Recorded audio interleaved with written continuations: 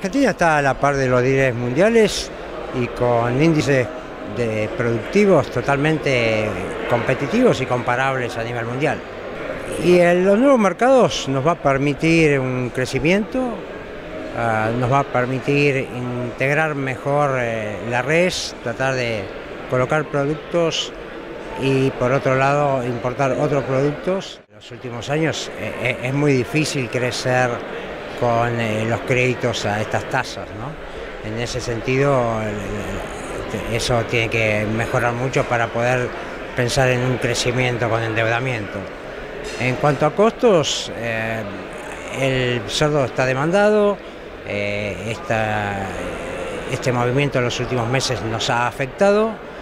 Eh, si bien el, maíz se incrementó el valor, algo incrementó el cerdo, pero sí, el, margen ha, bajado a raíz de este, de este sacudón de los últimos tiempos.